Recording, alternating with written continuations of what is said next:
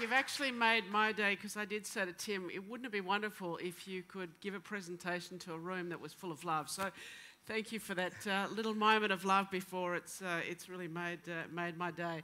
I am a scientist, and more importantly, I work with some of the most extraordinary and talented scientists uh, that we have in this country and, uh, and globally at CSIRO, and the specialists that work, uh, work alongside them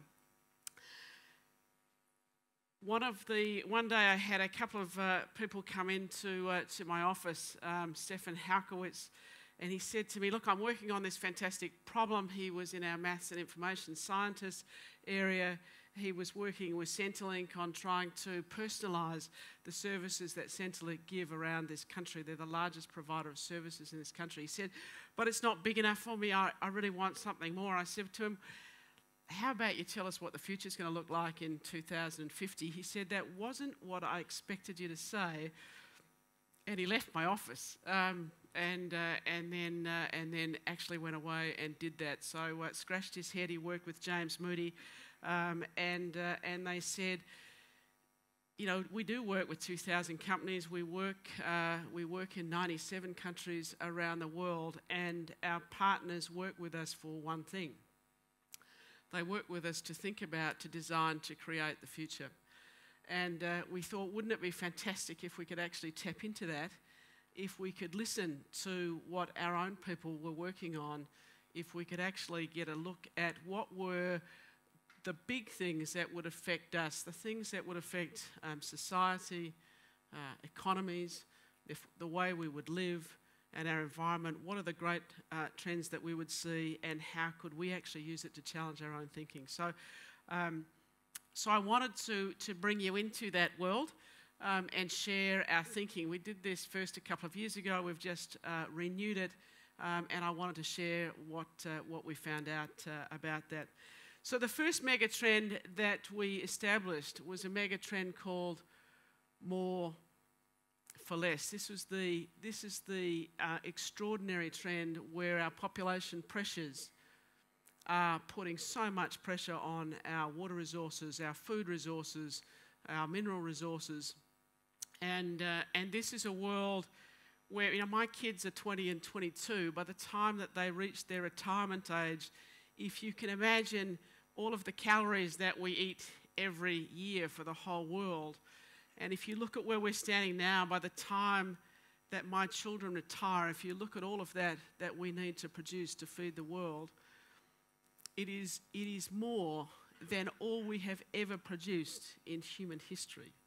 That is the area under that graph, just in the time that my kids reach retirement, is more than we've ever done in human history. That is more wheat than ever, produ- ever produced since Egyptian time. That's more fish that has ever been eaten out of the entire oceans up until now, just in the time my kids retired. That is the challenge that we face just in feeding the world that we have. And we have to do that at a time when every year about uh, an area the size of North Korea is being degraded of arable land. So we do that against some enormous uh, challenges.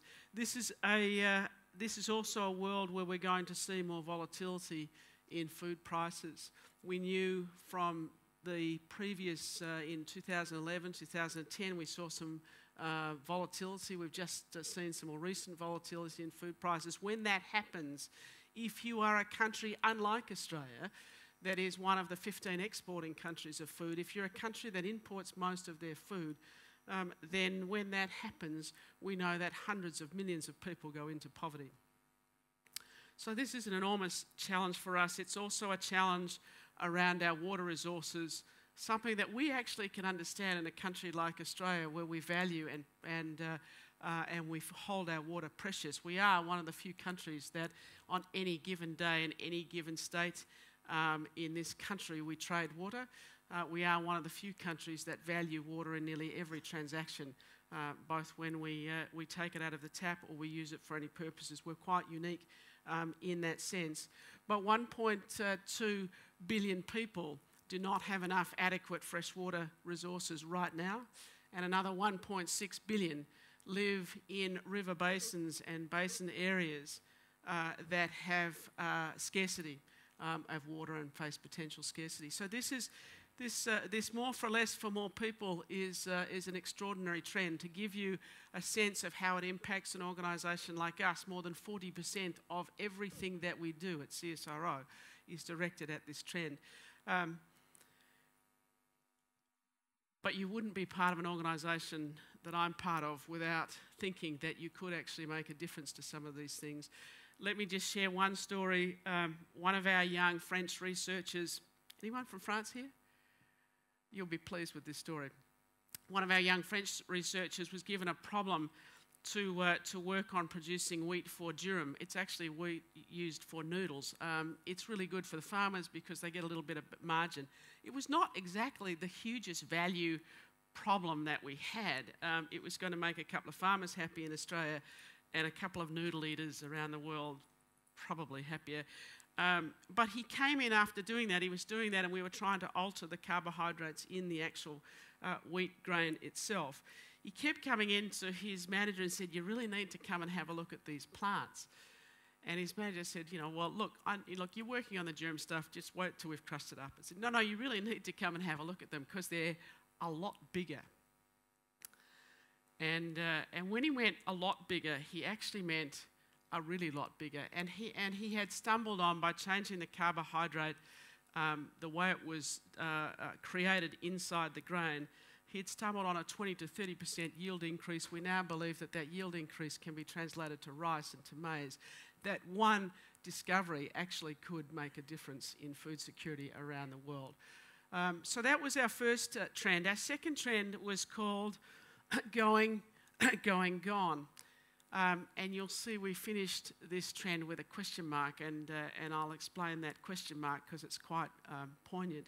This was really the major trend that we're seeing the destruction at all levels from genes to species to ecosystems of our biodiversity around the world. In fact, a couple of specialists who I admire, Ehrlich and Pringle, said that for the first time in, uh, in our history, that the actions of one species, our own, will affect all of the species um, on the earth over the next hundred years, and that we've never been in that situation before.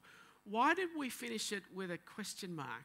The reason we finished it with a question mark is something else was going on with this trend, and that is that quietly um, there has been an increase in conservation of, of land around the world even in this country, in Australia, we're seeing that citizens can donate to, uh, to conservation groups small amounts of money to preserve, uh, to preserve um, land around the world.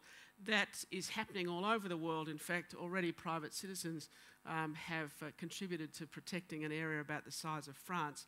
But we're seeing at every level government level, national level, company level, individual level we're seeing um, that as a species, we are intrinsically valuing uh, the, uh, the, the world around us. So we, we finished it with a question mark, um, and I think that's an important thing.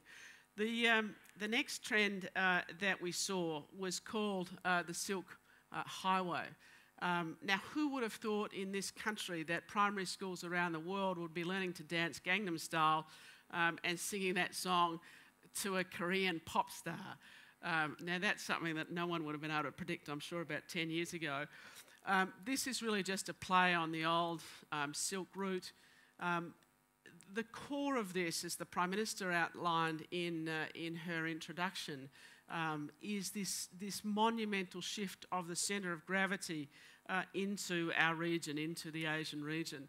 There was an absolutely delightful piece of work done by a guy called Danny Quah. Danny plotted um, if you like, the centre of gravity of, of the, uh, the economy of, uh, of the world. And, uh, and of course, early on, showing it sitting between Europe um, and the US. Um, and then moving some years ago to, to sitting just above uh, the Middle East. And, uh, and of course, moving very rapidly now to in the future, it will sit between India um, and China in the world that I live in, in the world of innovation and, and R&D, let me tell you that that shift of gravity um, is already moving faster than the shift of GDP. So for the first time this year, for, it's all right, you can Twitter, that's, that's going to be one of the trends, so that's okay. Um, for the first time this year, the Asian region overtook the Americas in investment of R&D. Now, the US is still the biggest investor in R&D, but you start to put China and, and Japan and others together in this region, and, uh, and we are seeing an enormous shift of gravity. That was on the back of, and I am incredibly envious of this piece of information, that was on the back of two decades of 15% compound annual growth rate of investment in R&D in China. You can see why I'm just a little bit envious of that statistic. Um, my counterpart, by the way, in China, the Chinese Academy of Science, has an annual um, budget of 30 billion dollars, which is more than this country spends on all of innovation. I'm starting to get really jealous now. I've gone beyond envy into jealousy, which is not a good, uh, which is not a good value. So I'll move myself back. Um, what's wonderful for us is the chance to collaborate with the new new networks, new connections in this region that don't often come from our past. And let and, and if there's, I often hear in my sphere look, there's a lot going on in China, but if you really want quality, you know, we need to go to Germany and connect with the US. Um, let me just share with you some of the things that we are doing. Um, stem cell work in this country is, uh, is extraordinary. We, we are blessed with some very um, talented stem cell scientists uh, in, in Australia, many of them here um, in Victoria. And, uh, and of course, one of the most difficult things for anyone who's had a heart attack is that some part of the heart actually dies. And what we're working on with our Chinese colleagues is actually forming a bridge, um, a physical bridge, a little patch, if you like, that will take stem cells from an area of the heart that is uh, healthy and living quite well um, and bridge it and patch it across to another part that is healthy and, uh, and introduce stem cells into the part of the heart that was died to completely to completely regenerate the small parts of the heart that could die have died. That that if we're successful with that, it's extraordinary. So just to give you just a snippet of some of the things that we're doing uh, with our colleagues in Asia. The next um, trend for us um, was um, around something called Forever Young, and um, uh, this, this, when you start to look at this trend, you know, there was a lot of commentary around the gap that we have in superannuation savings in this country, over 800 million uh, from where we stand today in terms of the gap for, uh, for everyone who needs to retire to have you know, adequate, uh, adequate uh, funds and, and resources for retirement. That gap, gap today is estimated at over 800 uh, million. Uh, it was also, when you looked at it superficially, gee, there's going to have to be a lot of young people, so the young people in this room having to look after the oldies in this room, and that didn't kind of feel too, uh, too good. Um, but, but then we saw something more in this, in this trend that was starting to emerge. So there were some weak signals for this trend, and that is that there's an enormous value in part of the older population that we just weren't tapping into. Um, just an example that we, uh, we have uh, with some of our collaborators in South Australia, we are actually going to be counting koalas using citizen science. Mobile phones have GPS. We're asking people to go out, see, spot, photograph, and record the koalas that we have in a part of Australia. Um, you'd be incredibly surprised at the age diversity of people who are signing up um, to be able to do something as simple as that. People want to have much more flexible retirements, much more uh, um, diversity in how they retire and how they continue to contribute into the world. So it wasn't just this kind of depressing, you know, more chronic disease, which is true, you know, more obesity, which is true, um, this retirement gap, which is true, but had we really tapped into this incredible jewel um, of, uh, of our population and our older people, and we felt um, that we hadn't. I love the quote by Audrey Hepburn. Um, you know, as we grow older, we discover we have two hands, one for helping ourselves and the other for helping others. I thought that was just an extraordinary, um, an extraordinary uh, quote. Now, anyone in the room over 50 who's put on Lycra recently to ride their bicycles, put your hands up, please. You probably never thought you were trending. You, you are trending. My kids will tell you, I don't trend in anything anything at all. In fact, when I was appointed to CSIRO, my daughter had us in absolute stitches because she did an alternative um, uh, small clip for the, uh, for the newspaper that said CSIRO appoints fashion tragic.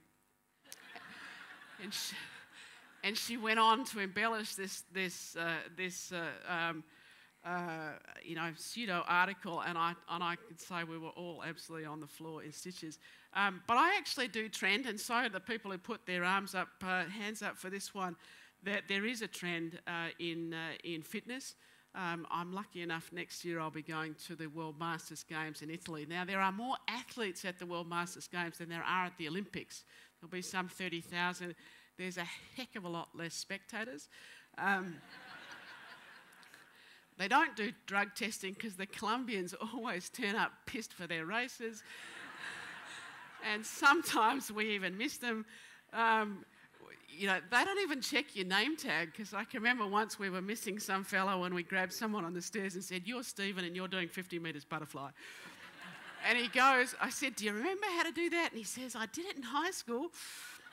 And he jumped off the blocks looking fabulous for the first 10 metres. And you could see him in his head going, I remember this. And then it's like, shit, this is hard. and he got to about 25 metres and we're going, come on, Stephen, you can do it. It wasn't butterfly by the end of the pool, but they didn't disqualify us. So, uh, but, but that is also a trend. We're all looking to be fit. You know, we're, believe it or not, we're paying an amazing amount of money for pharmaceuticals or pseudopharmaceuticals or goji berries or whatever it is that we think are going to keep us, uh, keep us young. And there's a whole new industry um, being dealt on that. So Forever Young is an interesting trend. The next uh, trend that, uh, that we have is virtually there. Now, we've had this trend for many years, or virtually here. Um, this is when we first saw this trend, we said everything in the virtual, in the real world, will have a virtual um, equivalent. And we saw the horse today was actually part of virtually here, that everything um, everything. And I, you know, I, so my husband said, "Oh, well, not everything," and I said, "No, no, everything."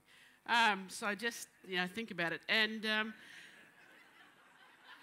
but as we've as we've discovered and evolved this this trend, we now realise that it's more complex than when we first saw it a few few years ago. It isn't just that we have this virtual world.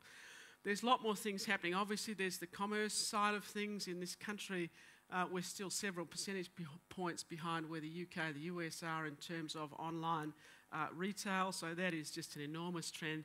I work with several players in the banking industry, it, uh, online trading of shares. I keep saying to the guys, I'm not sure why we want to be in this business. It is literally going to zero.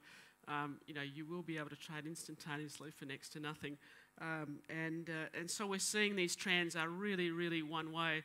Um, I live, for example, uh, roughly about 30 to 40% of my time, probably even more, uh, is in the virtual world in CSIRO. So, um, and, I, and I only get the game given up when my dog barks, and then my team go, oh, we know where you are.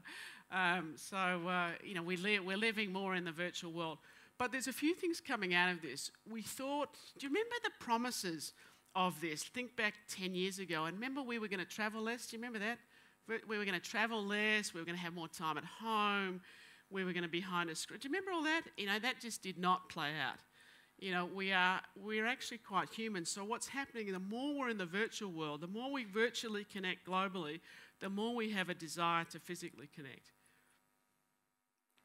So we're humans. We like to touch, we like to feel, we like to connect, we, we like to be physical. So what's happened with virtually there is, is it was the opposite. We didn't travel less.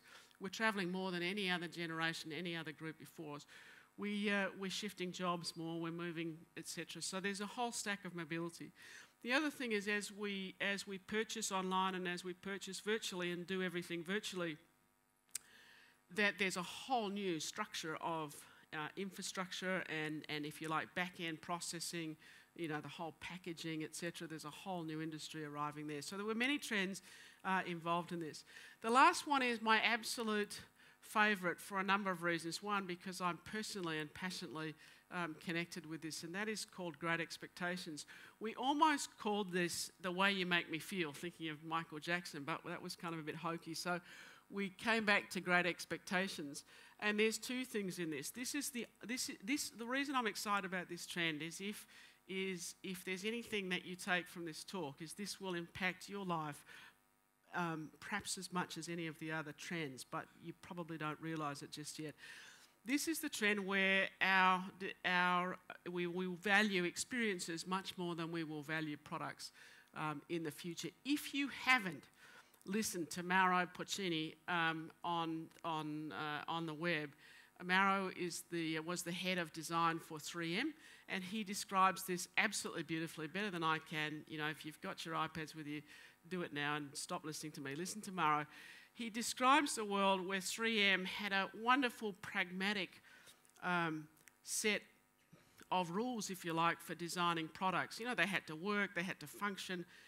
But now, of course, sitting alongside that, a completely parallel design experience for, for the actual experience of the product, which starts with thinking about, thinking about the product, thinking about going to purchase the product, seeing the product from afar so, your first interaction, what was your experience with that? Interacting with the product in the store, bringing it home with you, discovering it, unwrapping it, discovering it, see what it can do. Do you remember when, when we had to read manuals and now you don't do that? Now you actually just discover your product and you, you unlock it. And then, even two, three weeks from when you've purchased it, you find out something that you hadn't known before. So, tell you. so discovering the product, interacting with your product, even finishing with it. So, do I put it away in the cupboard or I'm so proud of this I leave it on my counter for my friends to see? And perhaps I don't even put it in the bin. Perhaps then I give it to someone else to use and it doesn't go into waste. So, this whole experience of the product wasn't just product, it was actually spaces as well. So, we think about a space. Before we go into the space, we're in the space, we're interacting with the space, we are discovering the space, we're enjoying that space, and we're leaving that. So, this, this trend, of course, will impact buildings, it will impact the cities, it will impact the way we design, it will impact the way we work. That work will be something that we do, not a place that we go. So, we will design whole new areas of, if you like, they're not offices anymore, but they're not cafes, they'll be just alternative spaces we go to work.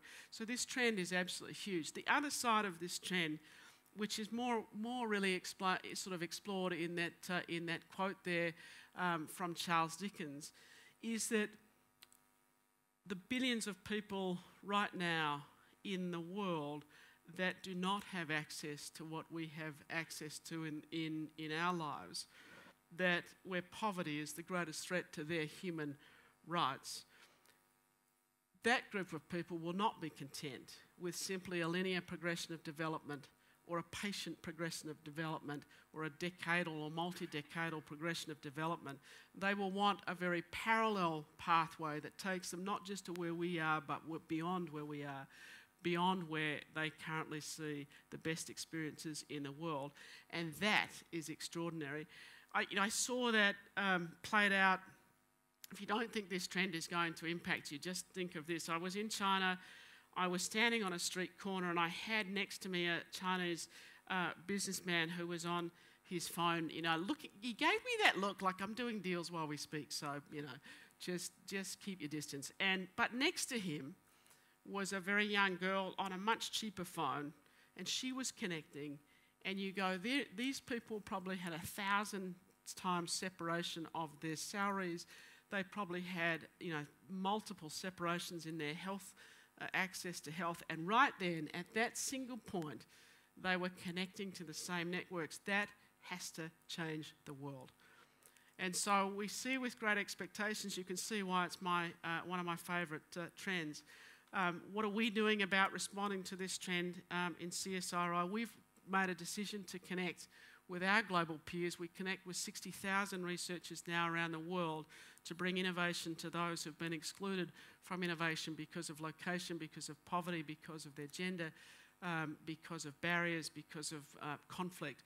And so we're now decided that, that if we work together with all of our peers from Finland, from Denmark, from Germany, uh, from Malaysia, from Indonesia, if we bring all of that creativity and innovation to bear, then we can actually bring, in, bring innovation and development to a group of people that have currently been excluded from it.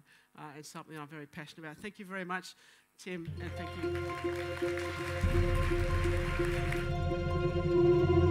you.